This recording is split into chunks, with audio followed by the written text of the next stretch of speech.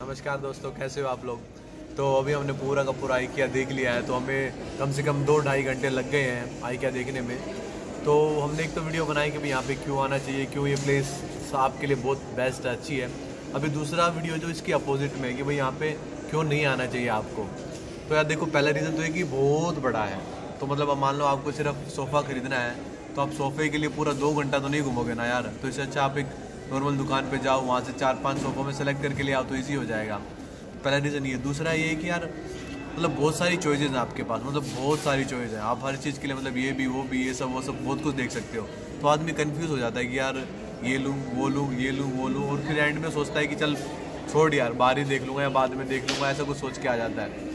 तीसरा है कि यहाँ पे मतलब बहुत बड़ी बड़ी लाइन्स हैं मतलब आपको बिलिंग काउंटर पे जाना है या फिर आपको कोई खाने के लिए लाइन में लगना है तो आप लाइन में लगे रहोगे मतलब पंद्रह बीस मिनट आप लाइन में लगे रहोगे, और फिर आप कुछ कुछ चीज़ें ले लोगे, और फिर लाइन में भी यहाँ पे ऐसा खाने का कि मतलब आप कुछ चीज़ें ले लोगे, उसके बाद दूसरी चीज़ सेलेक्ट करनी है तो लाइन है तो आप पीछे तो नहीं आ सकते। तो एंड में आपको जो भी उठा लिया, आप वही लेके जा सकते हो। और दूसरा, दोबारा आइटम लेना पड़ेगा तो आपको दोबारा लाइन में लगना पड़ेगा, और आखिर में बिलिंग है उसकी। ठीक है, और फिर चौथा पॉइंट हमारे पास क्या है कि यार तो यार देखो, चौथा रीज़न है कि तो आप जैसे कोई लिस्ट नहीं बना के लाए। तो आप जब घूमे जा रहे हो, पहले ही सोफ़े देख रहे हो, फिर बेड देख रहे हो, फिर आप कर्टेन देख रहे हो, फिर आप पिलो कवर देख रहे हो, फिर बर्तन देख रहे हो तो कई बार क्या होता है, जैसे कुछ चीज़ों के प्राइस लिखे हैं भाई तीन सौ रुपये किसी का दो सौ रुपये किसी का निन्यानवे रुपये कोई पाँच सौ की है।